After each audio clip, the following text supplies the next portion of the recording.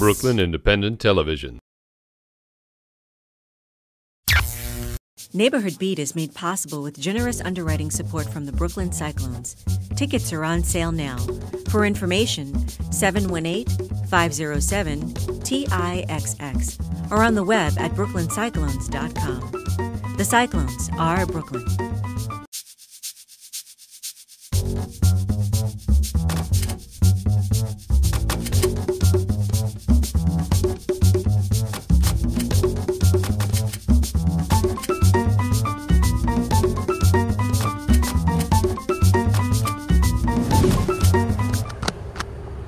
Hello, and welcome to this special edition of Neighborhood Beat.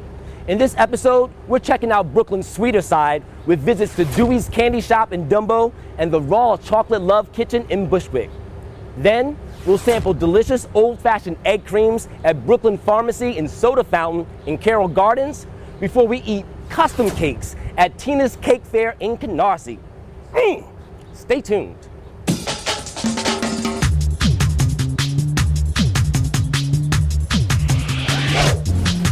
Brooklyn Bridge remains one of the most marvelous man-made structures and is especially iconic here in Dumbo.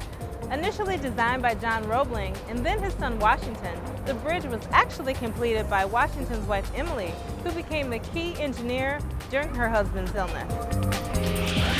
Catering to all types of confection lovers, Dewey's is an adorably quaint candy shop with a retro feel where you can find everything from licorice sticks to your favorite 80s era candy. Pop rocks anyone?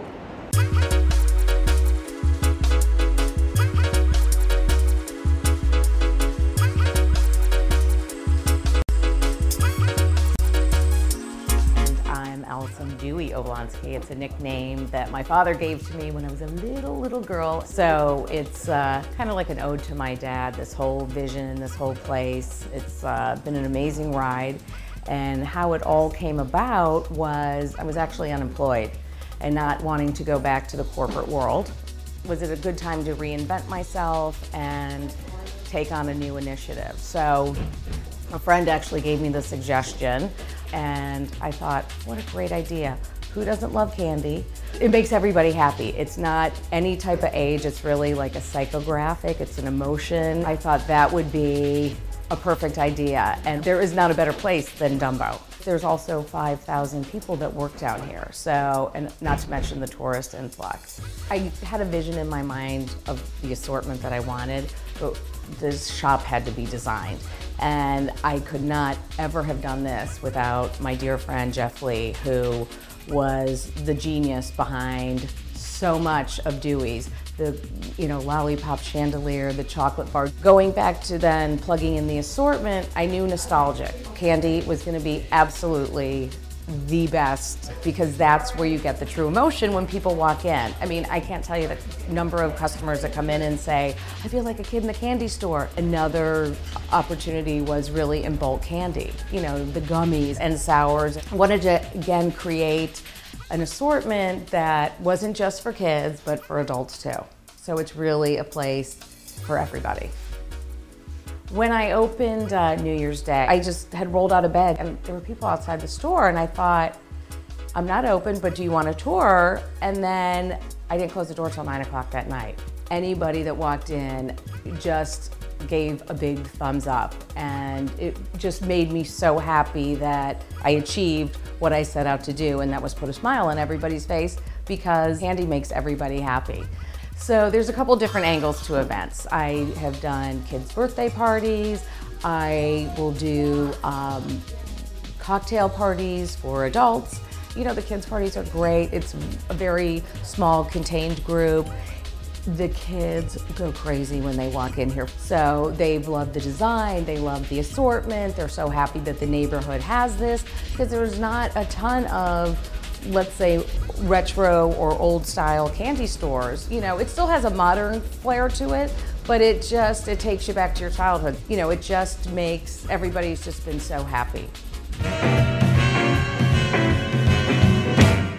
So we're going to take a tour through Dewey's and where our favorite spot is, is more of a featured area. So whether it's Valentine's Day, Easter, or just some unique products that came in, this is where it is. Now, this world is all the gummies and sours, a big, big world. So, what you do at Dewey's is you grab a bag and then you grab a tongs or a scoop, depending on what item you're picking up. And then we start looking for our favorites. And of course, we have gummy teeth, a must for everybody. And then another unique is the gummy letters. And then, of course, the traditional gummy bear, which nobody can live without. At Dewey's, all bulk is the same price. You can mix and match. The only two things that aren't are the Jelly Bellies and the individual color M&Ms. So when we move into, again, my favorite section, I'm just gonna return that, we go to the nostalgic. So whether it's your mega candy buttons that we all love and adore, your cowtails from way back when, or even your bottle caps. Everything from your old school nerds, as well as the uh, Whirly Pops. Uh, you love the Sugar Babies, and who could live without wax lips? Nobody. Course, Big League Chew. Cannot keep this in stock. Jolly Ranchers, now chewable. All of these old nostalgia candies are the best and make everybody happy. So when we also look to newer and going again, strolling down memory lane, you have your good and plenty. We have so many different types of licorice. We have Finnish licorice, both black and red. We have jawbreakers that literally will break your jaw. They are huge and will take somebody a long time to eat. They're a big seller along with gumballs. We have sour in the center, larger scale gumballs than of the traditional. If you remember the licorice laces, we have a red, a multi, and a black licorice. I'm to take you to the last section, which is one of my favorites. Now we're to go through my favorite section at Dewey's, and that is the candy toy section. Whether you're an old school Pez lover, we have a variety of the Disney characters, Thomas the, uh, the Train, anything. We love an old school Pez.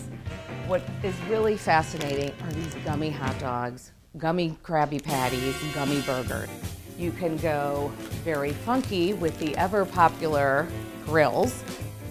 And of course, we have all these new great little uh, Wii remote control. Also, Hello Kitty is another huge, huge love of everybody. Well, that concludes our tour. Thank you so much for visiting Dewey's with me.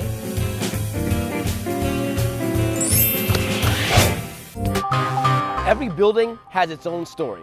This beautiful building behind me at 1396 Broadway was known as the Bushwick Theater when it opened on September 11th, 1911.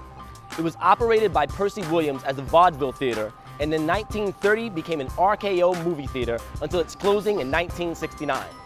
In 2004, it was renovated and is now home to the Acorn High School for Social Justice. Raw means unprocessed or left in its natural state. Love means affection or to cherish. Nice, right? Well, put that together with chocolate, and you've got raw chocolate love. And it doesn't get any better than that, my friends. I recently caught up with Shimon, the founder of this healthy confection, for a lesson and a taste.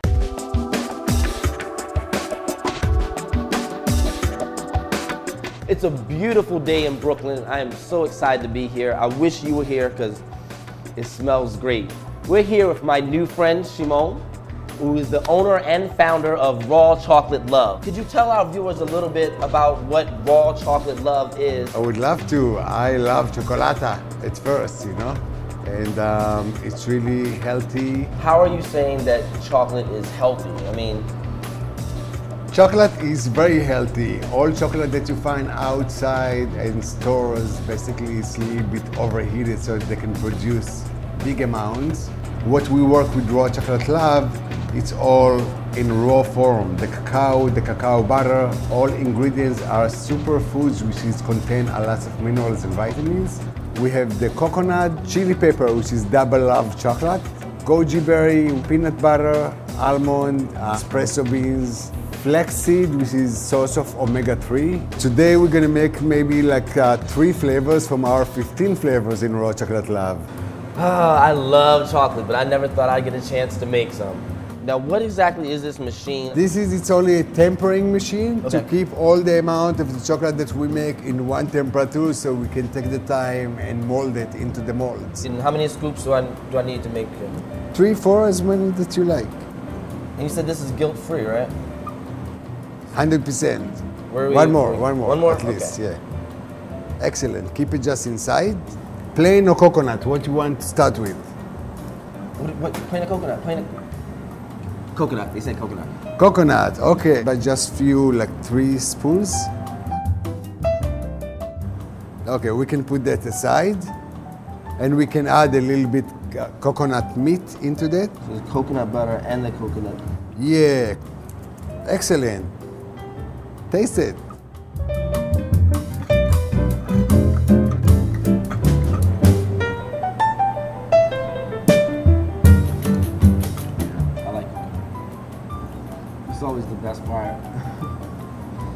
Good, and now this this basically chocolate is ready to being molded. Yum! I love chocolate. I'm noticing that there's little like six little hearts in the mold. I didn't that before. You can go ahead and fill it up all the way up, slowly, slowly, without leaking to the sides. Looking good. Very calming, like almost therapeutic making this. It is absolutely. So now we can put uh, this in the refrigerator. Yeah, to cool down before wrapping. So we put those in the refrigerator. Generally, how long do they need to be in the refrigerator before you take them out and wrap them? And About, I would say, like five, six hours. Usually I make it and I leave it overnight. I wake up in the morning and then it's all ready. Yeah, that's the two ounce almond bar. In the refrigerator, you can keep it for much longer time, but if you put it outside, it will be okay in low temperature, below 60 degree Fahrenheit. so these are the two ounce bars, and these are the. And that's the cinnamon pecan, yes. Now, once those chocolate bars come out of the refrigerator and we wrap them, this is what the final coconut raw chocolate love bar looks like. yeah! Tell me a little bit about this chocolate adventure. I went to my chocolate adventure in Belize, where the Mayan people sit. That's where I start to make the chocolate. Pick up the chocolate cacao from the tree, open it, sun dry it for 14 days, roast it a little bit more, and grind it with stones. I had to do it just to be connected to what I do. The chocolate is cooled down a little bit, and this is how it looks like still in the mold after we pour it. And now we're just gonna flip it and take those bars out of the mold. Yep. Oh. And then look at it. It's all really beautiful. It's ready to be wrapped and shipped out to the stores. Ready to be eaten and enjoyed. What flavor is this? I'm noticing. This some one is little the chili pepper, the double love chocolate. When we people have feeling of love, our brain create a chemical which is called phenylethylamine. And chili pepper is also the way it's tastes like ah like this. So it's cleansing our body. There's a lot going on in this two ounce bar of chocolate. Well, let's wrap this beautiful double lovely chocolate up. Yes, so we're gonna just put the bar in the middle of the sheet, put the, the label in it, and here we go. The chocolate is right here, very elegant look, as you guys can see. We're just gonna go to seal that bar. We put the logo. It's gonna be ready to ship out. I love chocolate, and I bet you love chocolate too. So go down to your grocer, get online, do what you need to do, but get an exciting raw chocolate love experience. It might change your life. Thank you, Shmuel. Thank you. Love you. Over the decades, the streets of Brooklyn have often made it to the big screens of Hollywood. For instance, in 1995, scenes from Spike Lee's Clockers was shot in the Gowanus Project. And in 1987, the character played by Nicolas Cage worked here in this building on Henry and Sackett. Now a coffee shop, it was known as the Cammareri Brothers Bakery. The classic egg cream contains neither eggs nor cream. It's simply chocolate syrup, fresh milk, and seltzer. But to many Brooklynites who remember this classic drink from their childhood, it's so much more. And you can get your very own here at Brooklyn Farmacy.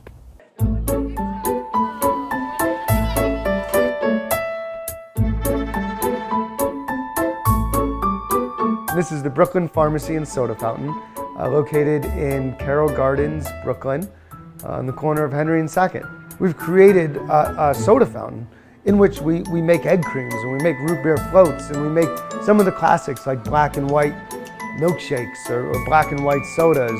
You know, there were soda fountains, there was shake shops. It's something that was prevalent in New York City and Brooklyn, really across America, you know, for the last hundred years. And they were in places like pharmacies or they were in department stores like a Woolworth, or they were just on the corner. And over time, a lot of those have disappeared. Uh, but we're also doing new stuff, things like the pink poodle. Okay, next thing we're gonna make is a pink poodle. Start with the glass, hibiscus syrup made from the flower of hibiscus. Not that much. Nice cold seltzer. Go almost to the top. Nice big scoop vanilla ice cream. You just kind of press it on the side. Yeah, at the top. See what starts to happen is you start getting little bubbles coming up. Then you see what will happen is it'll make this start raising up a little bit. And that gives it the effect of being a poodle. My name is Gia, and um, my official role is Big Sister. Um, I'm also a partner with Peter, my younger brother. What's nice is that around 3.30 we do get a rush of, of children coming out of school and they like root beer floats, they like shakes a lot, and then a lot of them like sundaes with a lot, a lot of uh, whipped cream. Today I got my favorite thing on the menu, and uh, it's called the soda shake. And you pick a soda, and you pick a flavor of ice cream. And people think it's root beer float, but it's not. It's different. And we made the straw right here, and we both drink out of it. The idea of the Brooklyn Farmacy was to bring the farmer's market experience to an everyday marketplace. One of the things we do is with the vendors that we have that are locals, we bring them in for tastings, and we typically have the tasting events on Sundays, where that's an opportunity for the community to come in and to uh, to meet the food producer and to speak about what they're doing, um, and then to taste the product itself. Because we have this great selection of baked goods. So one of the things we're, we're kind of getting into now, and we hope is the next kind of big thing, is, is retro homemade desserts. Things like homemade Twinkies. We have on Sundays a Sticky Bun Sunday, where we bring in fresh out of the oven sticky buns from Trois Pommes in Park Slope. On Saturdays, we import um, donuts from Greenpoint, um, from Peter Pan Bakery, which has quite a following. We don't have a kitchen here yet, um, so um, we, but what we do serve, so that there's a little bit of a balance, is we serve peanut butter and jelly sandwiches, black bean empanadas, which are all vegetarian, and then we have a soup that changes weekly that's also all vegetarian and all vegan. So you can come in here and you can actually have something very nice to eat, and then have a treat. Okay, here at the Brooklyn Farmacy, we're gonna make a chocolate egg cream. Glass. Hudson Valley milk. Always gotta check the temperature of the seltzer first. Let it get nice and cold. It's gotta settle a little bit first. Fox's U-Bet chocolate syrup all the way down to the bottom. So just a little bit of up and down motion.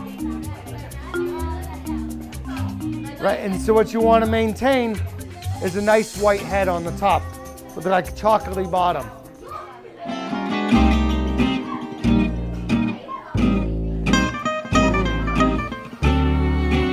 Um, usually, when I come here, I get a shake, but recently I have noticed that the best thing to get is just a normal egg cream. And the cool thing about the egg cream is if you wear a jerk shirt, a soda jerk shirt, you get a free egg cream. I didn't come into this being an egg cream lover, and I have to say, I've actually become an egg cream lover, and I have an egg cream almost every day.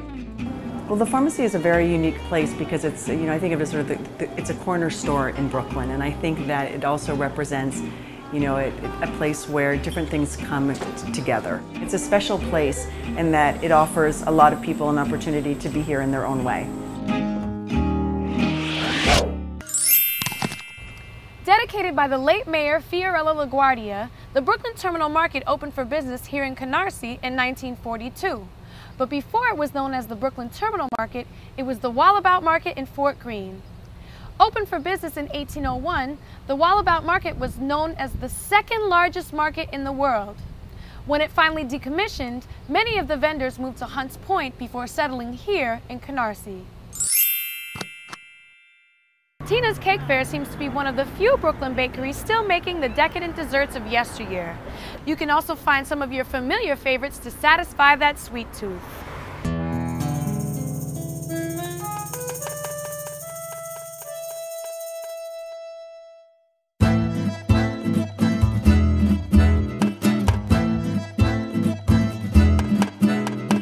Here at Teena's Cake Fair, 1568 Ralph Avenue in Brooklyn.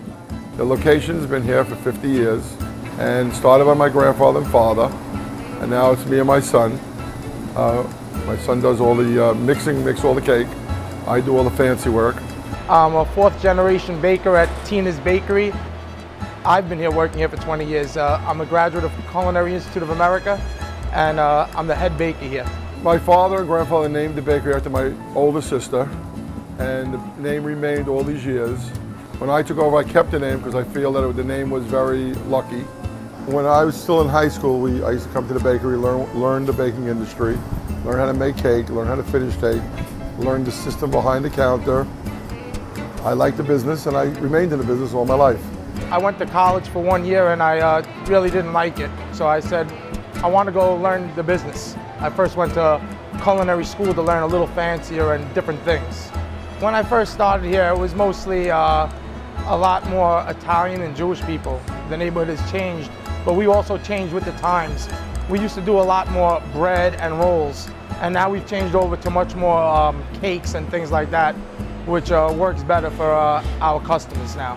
When I was a kid, I used to come here all the time. I worked in the store when I was 12 years old till I was about 16, and uh, I always wanted to come back here and learn. I used to stay overnight with the bread bakers and learn how to make bread and things like that, and I, I really had a passion for that.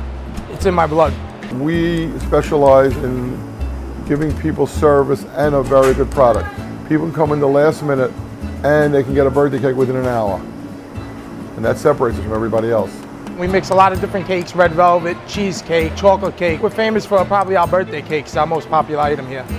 A lot of production going on in a little tiny place like this. We're open from 6 a.m. to 10 p.m., but we have 24-hour operation in the back.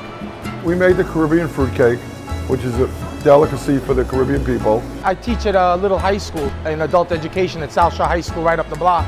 And what I would do is go there and they would give me the recipe and we would try to make it there so we could perfect the recipe. Uh, so that was probably our hardest thing to, to get used to. We try to make it a family atmosphere. Of course, we work very hard, and sometimes it gets a little tense, but at the end, it all works out perfect, and everybody seems to be satisfied. We have uh, six people that work back here, and uh, out of the six of them, five of them have been here over 10 years. And three of us have been here over 20 years. So we pretty much know every move we're gonna make. We never get into each other's way or anything like that. Uh, we, everyone knows where everyone's gonna be and what has to be made early. The best part of the bakery, I feel, is the smile we get from people. They, they come back, they say, oh, your stuff was very good. We enjoyed it, and that makes us makes our day, makes our week. My name is Clifford Brister. I work at Teena's Bakery for 25 years. Today, I'm gonna do a 10 inch square cake. 10 inch square cake gonna have a picture. I'm gonna have pineapple and strawberry filling in this cake. You have to cut this cake twice because you're gonna get two fillings. So I'm gonna start cutting. Okay, I have the buttercream bag. So what you do, you gotta make a ring around it for the filling don't come out as you're doing the cake. Now I put in the pineapple filling first. Put the pineapple in the cake. You even it out. Get it nice and smooth. Then I go put the top of the cake on. Then I put the strawberry. Make sure everything is nice and straight. Now I'm doing strawberry. Level it out nice. Now I'm to put the top on the cake. I have buttercream here. This is what the filling, this is the filling that the customer wants. So you take the buttercream, you smooth it around the cake, all the way around. Now this is what you call a comb. We're gonna comb the sides. That's to make the design on the side. You'll see as I'm going along. One, from one side. You see how the ruffles on the side? Okay, now I'm gonna take it, I'm gonna smooth out the top as I'm going along. You'll see. Now I have the picture. This is a wafer paper. It's edible. All right, you put it on the cake. Make sure it's nice. It become a part of the cake after. Now this is called a buttercream bag. We're gonna put the borders on. We're gonna make it look nice for you. See, we start on the top, you do it nice and slow. This is the top.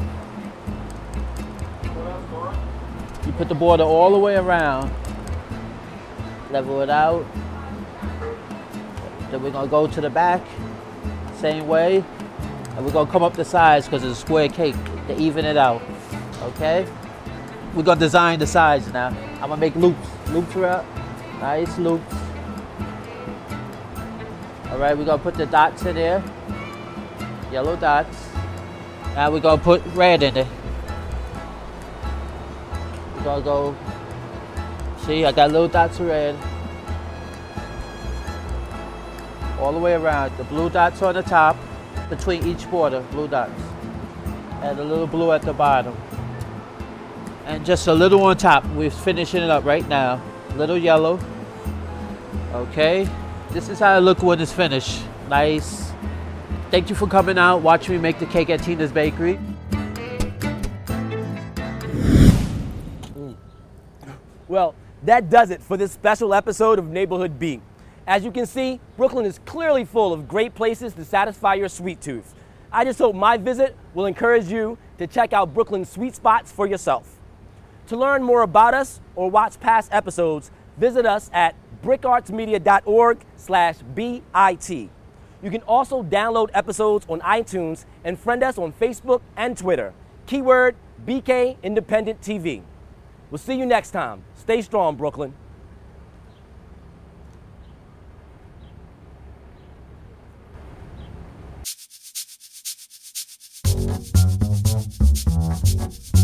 Neighborhood Thank you.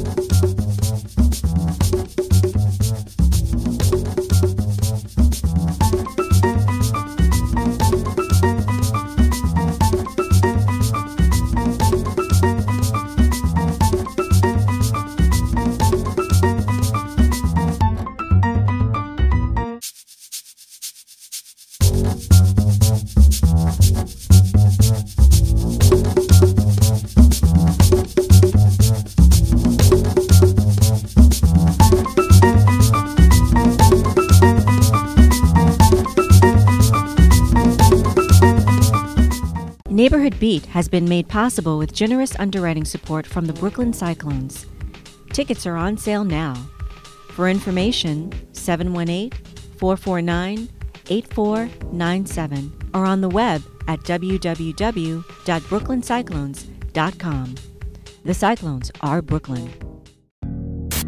Download this program's podcast on iTunes. Keywords Brooklyn Independent Television.